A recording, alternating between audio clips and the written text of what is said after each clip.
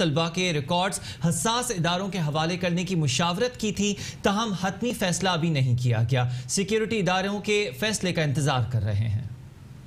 تمام internal vice chancellor جامعہ Karachi doctor Ajmal Khan نے press conference کرتے ہوئے کہا کہ میڈیا میں بہت کچھ آ رہا ہے لیکن ابھی تک ہم نے یا حساس اداروں نے کوئی فیصلہ نہیں کیا کہ طلبہ کا ریکارڈ دیا جائے یا نہیں۔ والدین پریشان نہ ہوں۔ بہت سے لوگ بہت پریشان ہو رہے ہیں۔ پیرنٹس پریشان ہو رہے ہیں کہ ہم ان کا ڈیٹا دینے جا رہے ہیں۔ ایڈمیشن میں ہم ان کی سیکورٹی سرٹیفکیٹ مانگیں گے۔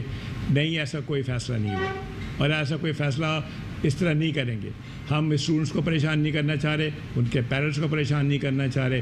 ہم کوئی ایسا کام نہیں کرنے جا رہے جس سے کہ اسٹوڈنٹ اور پریشان ہو تو یہ کوئی فیصلہ نہیں کیا گیا۔ جب یہ فیصلہ کریں گے تو ہم آپ سب کو بتائیں گے۔ ڈاکٹر اجمل خان کا کہنا تھا کہ یونیورسٹیز کا کام ریسرچ کرنا ہے۔ جامعہ کراچی میں بھی ریسرچ کا کام ہو رہا ہے اور جامعہ کراچی کے طلبہ نے دنیا بھر میں جامعہ کا نام روشن کیا ہے۔ لیکن فنڈ کم ہونے کی وجہ سے صحیح کام نہیں ہو رہا۔ اور ہم نے جو لوگ یہاں پروڈیوس کیے ہیں، انہوں نے پوری دنیا میں نہ صرف ڈسٹریبیوٹر میں بلکہ انہوں نے پاکستان کا نام بلند کیا ہے۔ دوسری بات میں کرنا چاہ رہا ہوں وہ یہ کہ کراچی یونیورسٹی جو ہے اسی وقت چلے گی جب اس کے فائنینشیل مسائل ختم ہوں گے۔ ڈاکٹر اجمل کا کہنا تھا کہ ہمیں سوچنے کے انداز اور مائنڈ سیٹ کو تبدیل کرنا ہوگا۔ میں والدین کو بتانا چاہتا ہوں کہ جامعہ کراچی میں کوئی دہشت گردی نہیں ہو رہی۔ یہاں تعلیم دی جا رہی ہے اور جامعات ہونے ہر طالب علم پیدا کر رہی ہے۔ یہ سیکیورٹی کے ایشو جو ہے نا یہ لوکل نہیں ہے۔ یہ صرف کراچی اس میں انوالو نہیں ہے، یہ پورا ملک اس میں انوالو ہے۔ اور اور ہمیں مائنڈ سیٹ بدلنے پڑیں گے، ہمیں سوچنے کا انداز بدلنا پڑے گا۔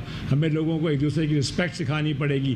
یہ کام اکیلا کراچی یونیورسٹی نہیں کر سکتا۔ یس ہم کنٹریبیوٹ کر سکتے ہیں، مگر یہ کام ہم اکیلے نہیں کر سکتے۔ یہ کام ہم سب کو مل کے کرنا ہوگا۔ اور اس سب کو کام کرنے کے لیے مجھے آپ کی مدد آئی شکریہ، بہت بہت۔ Vice chancellor doctor Ajmal Khan نے پریس کانفرنس کرتے ہوئے کہا کہ تھوڑے سے واقعے کو زیادہ ہائی لائٹ کیا جا رہا ہے۔ اس سے جامعہ کراچی کو نقصان پہنچتا ہے۔ اس موقع پر اسلامی جمعیت طلبہ کی جانب سے جامعہ کراچی کے خلاف ہونے والے پروپیکنڈا کے خلاف احتجاج کیا گیا۔